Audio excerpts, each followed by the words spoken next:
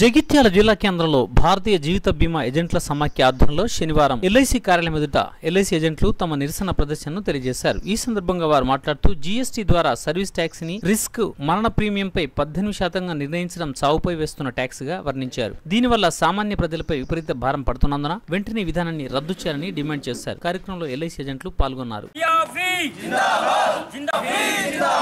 Zindabad! Zindabad. GST. GST. GST. Down down down down insurance insurance premium by జిఎస్టిని.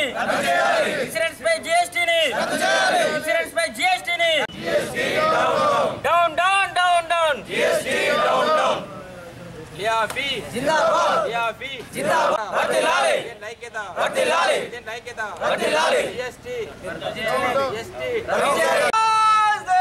Amazing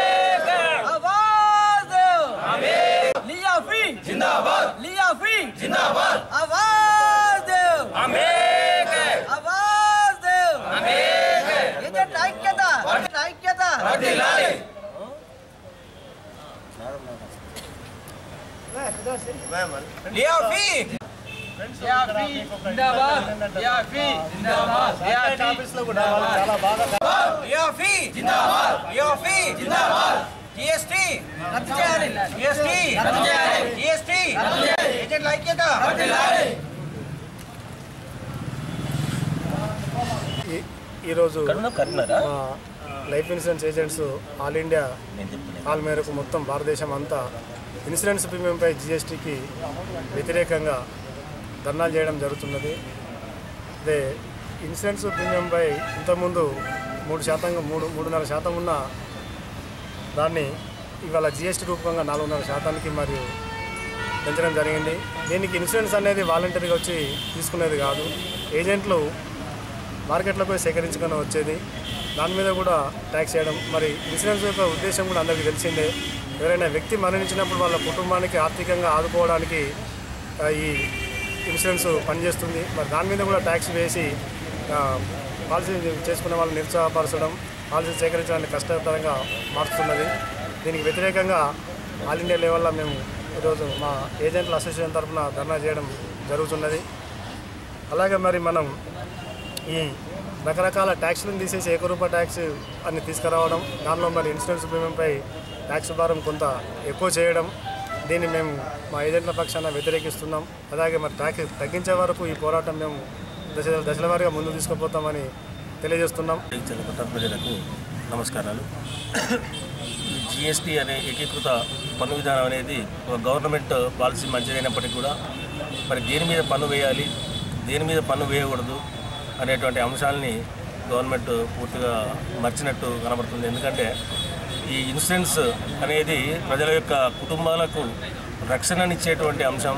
దాన్ని అనేకమైనటువంటి ప్రోత్సాహకాల ద్వారా మనం encourage చేసేటువంటి అవసరం ఎంతైనా ఉన్న పరిస్థితులలో మరి ఎంకరేజ్మెంట్ అనేది లేకపోగా ఆ పన్నుల రూపకంలో మరి ఉన్న పన్నును ఎక్కువ చేసి ప్రభుత్వం తీసుకున్న నిర్ణయం అనేది అసలు శోచనీయం.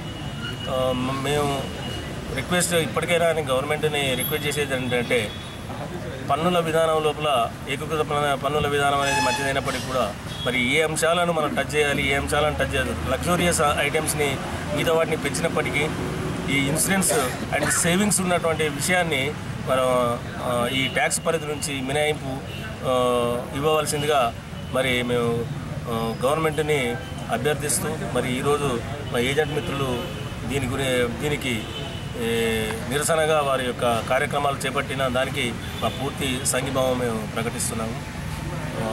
ఈ విషయం లోపల ప్రజలందరూ కూడా మరి సహకరించాలని చెప్పేసి విజ్ఞప్తి చేస్తున్నాం జీఎస్టీకి వ్యతిరేకంగా ఏజెంట్ల ధర్నా కార్యక్రమానికి సుమారుగా ఒక వంద మంది ఏజెంట్లు హాజరైనారు.